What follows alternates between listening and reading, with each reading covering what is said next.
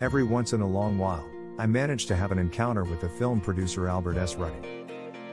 It's always, what? Funny? Fascinating?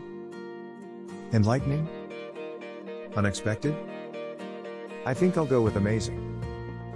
It's certainly amazing to see Al Ruddy, at the age of 91, credited as a producer of Cry Macho, which is set for release by Warner Brothers and HBO Max on September 17, and not just because the movie is directed by and stars Clint Eastwood, who is also 91. To put things in perspective, Ruddy has been trying to get the picture made since I was a struggling doctoral student of modern European history, which would be 46 years ago, give or take. Once, the film seems to have started, with Roy Scheider, in Mexico. That would be somewhere among iterations that involved Burt Lancaster and Pierce Brosnan. But something happened, and the plug got pulled. By then, Eastwood had already been in and out of the project. He put it aside to do The Dead Pool, which was released in 1988 a long time ago, when cop movies were still popular.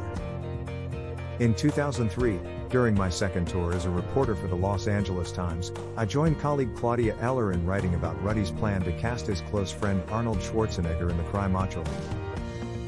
He was to have played a somewhat battered horse breeder and ex rodeo star who finds redemption on a mission to retrieve another man's son from south of the border. Having put aside politics, or so our story said, Schwarzenegger was looking for a role that would highlight his softer side. That was printed on July 31st.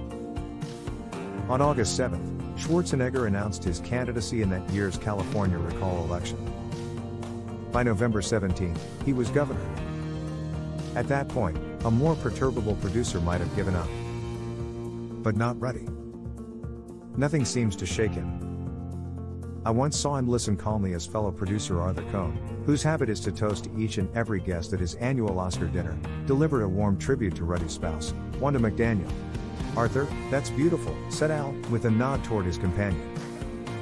But this isn't my wife.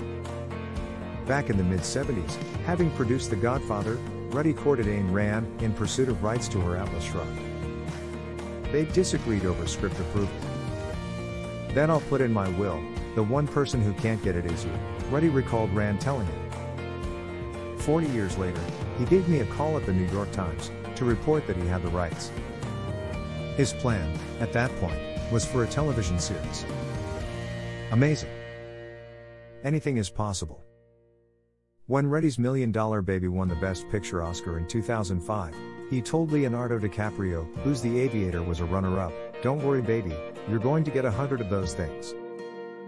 Or so he told me in my Times co writer Brooks Barnes in a typically unfiltered interview in 2016. The gravel in his voice makes everything plausible. I was certainly a believer five years earlier, when Ruddy got on the line with another amazing report.